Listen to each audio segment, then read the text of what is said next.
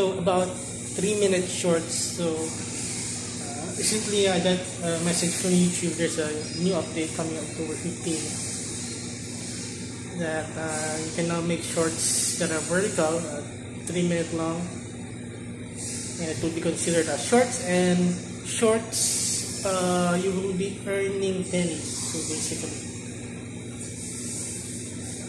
so most of your long form videos are not earning already anyway so.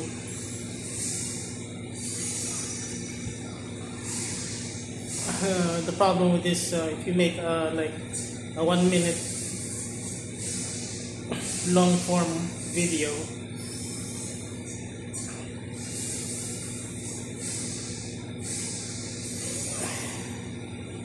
The problem if it might convert automatically to a short by YouTube system you upload it. You're screwed.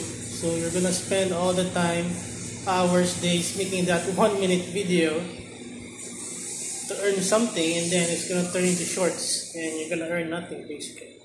So yeah shorts are it's addictive. Well uh, I'm still uploading shorts. Uh, just earned a few pennies with that. But shorts is kind of addictive for me uh, because it gets more views than the regular content. Faster. Because it's not always but it has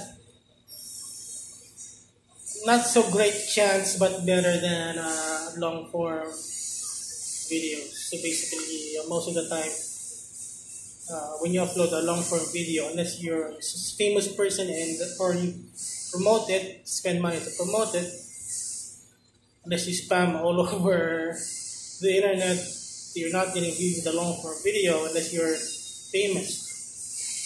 So, so yeah, so I think most of the revenue that cut down from us long form creators, we have lower revenue than before the shorts came.